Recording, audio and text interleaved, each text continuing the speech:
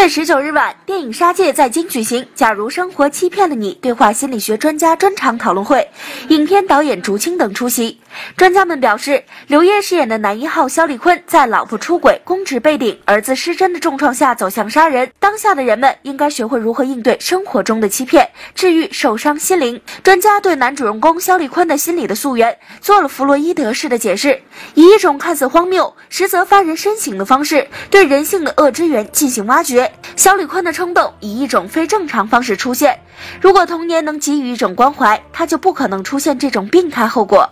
优酷娱乐播报，北京报道。经典汇聚，口碑之作，夏洛克带领超能少年杀出灵界，